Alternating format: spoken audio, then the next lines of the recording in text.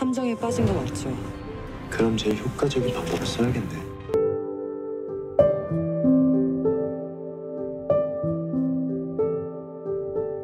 영원히 찾지 못하게 해야죠. 날 유인한 놈부터 찾아야 돼요.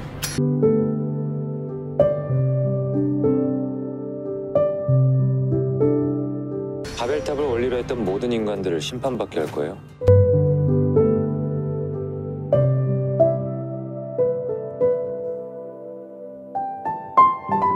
빈센조가 대한민국을 뒤집을 수도 있습니다.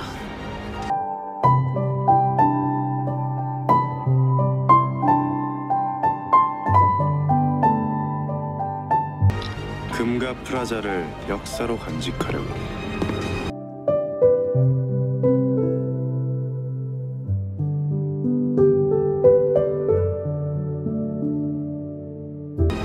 꼭 대가를 치러줘요. 너 이제 죽어야 돼.